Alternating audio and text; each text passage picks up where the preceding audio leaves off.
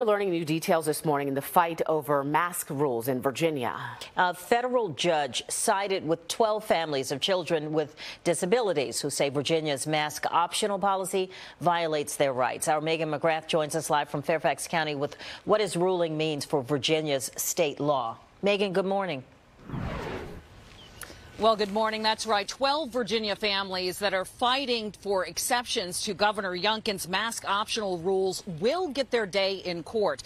Now, a judge has ruled in favor of a dozen families of children with disabilities. Now, some of the kids have conditions that compromise their immune systems. Their parents say classmates and teachers should wear masks around the kids to keep them safe from COVID. Right now, a school system in Virginia can be penalized for requiring even some kids to wear masks. But last night, a judge granted a preliminary injunction allowing the parents to seek modifications without penalty. Now, this is not a class action suit, so any outcome would come would only affect the schools attended by these 12 students. It would not be a statewide change. Some of the children do attend schools in our area, specifically Fairfax County, Loudoun County, and Manassas City. Back to you guys. All right, Megan, thank you.